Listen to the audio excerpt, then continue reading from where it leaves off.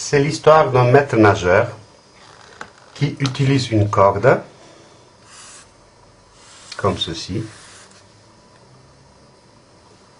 et deux bouées, B et C, pour délimiter une zone de baignade. Ici, on a la plage. La zone de baignade, c'est A, B, C, D, sous forme de rectangle. Il dispose, ce maître nageur, d'une corde de longueur 160 mètres. Ça veut dire cette largeur plus cette longueur plus cette largeur. Au total, ça fait 160 mètres. Il se demande où placer les bouées B et C pour obtenir une zone de baignade ayant la plus grande aire possible. Parce que bien sûr, il veut surveiller le plus possible. Alors, comment s'y prendre? Si on note avec X la longueur AB, quelle serait l'aire de ce rectangle? Largeur c'est X, l'autre largeur aussi X, la corde longueur 160 mètres, la corde est là, ici il n'y a pas de corde évidemment, donc euh, si je soustrais de 160 mètres, 2x, j'obtiens la longueur du rectangle, soit 160 mètres moins 2x. Du coup, l'aire du rectangle, longueur fois largeur, R égale longueur fois largeur, 160 moins 2x fois x. En distribuant 160x moins 2x carré. Du coup, j'ai obtenu une fonction qui associe à x la longueur AB associe l'air moins 2x carré plus 160x. J'ai mis devant le terme avec signe négatif, mais exposant le plus grand. Et voilà, j'ai cette, cette, fonction. Bien sûr, je peux l'écrire f de x égale moins 2x carré plus 160x, qui exprime l'aire du rectangle en fonction de la distance AB. Et comme je me pose la question quelle est l'aire la plus grande, il faudrait bien sûr voir pour quel x cette aire est la plus grande possible. Pour l'instant, la question est quelle est la plus petite valeur possible de x? La plus petite valeur possible de x. Évidemment, la plus petite, c'est quand la bouée, euh, est, elle est ici à la plage. Hein. Toute petite, toute petite, ça veut dire x égale 0. Et on va noter ça avec x0. x0 égale 0.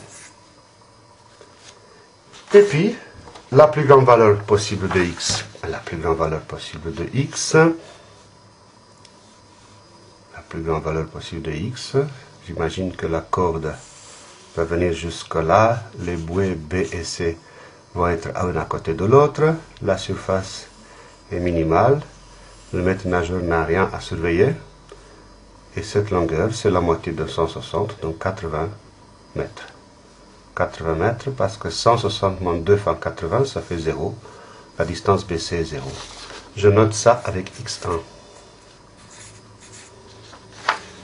Donc on a la plus petite et la plus grande valeur.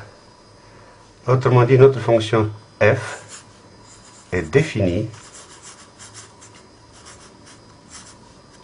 pour x compris entre 0 et 80. On va observer la fonction f, voir ses valeurs pour x compris entre 0 et 80. Et on va faire un tableau de valeurs d'une dizaine en dizaine de mètres. x, f de x, 0, 10, 20, 30, 40, 50, 60, 70, 80. On mélange la calculette. f de x égale moins 2x carré plus 160x. On remplace x par 0. f de 0 égale 0. f de 10, on remplace ici x par 10. Je vous laisse calculer, ça fait 1400, parole de scout. f de 20, on remplace, ça fait 2400. Et puis ça fait 3000. f de 40, ça fait 3200. f de 50, 3000. Puis 2400, 1400 et de nouveau 0.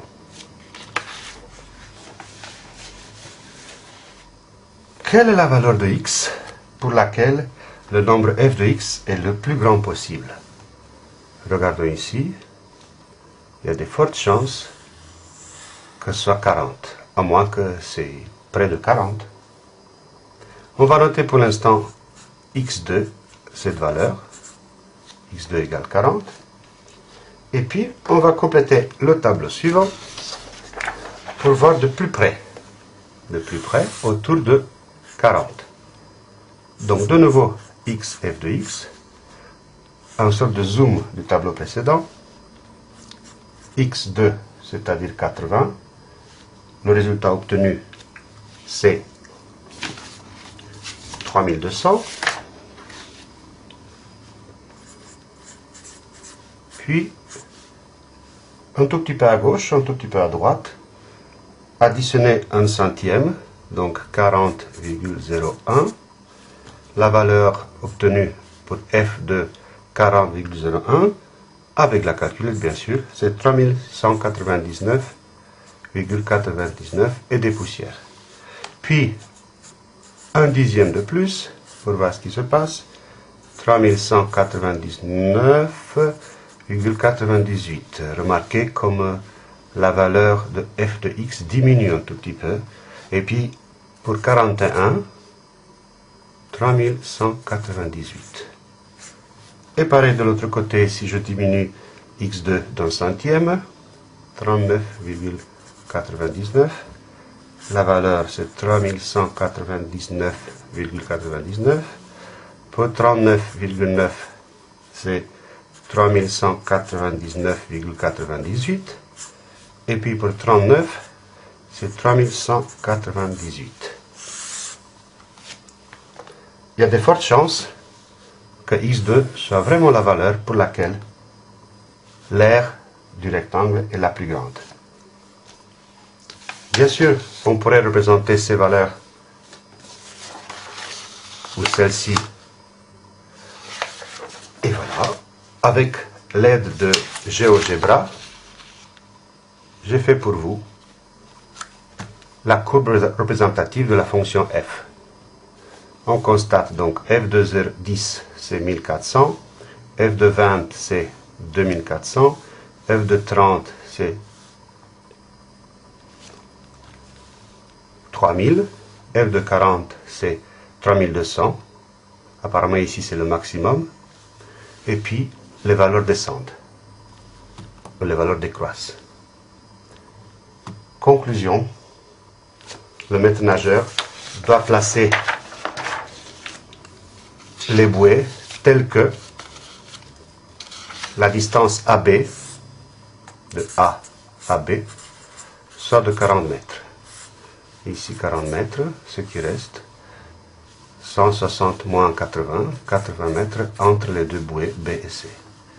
Et voilà, bon baignade, surveillé par le maître nageur qui voulait travailler davantage.